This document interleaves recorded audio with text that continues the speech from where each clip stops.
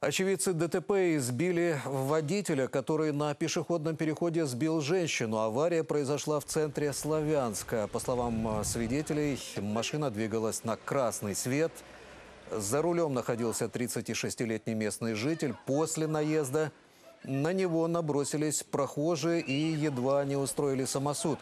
Их остановили патрульные, которые проезжали мимо. Водитель едва стоял на ногах. В полиции подтвердили, что он был пьян. Алкотестер показал 3,6 промилле.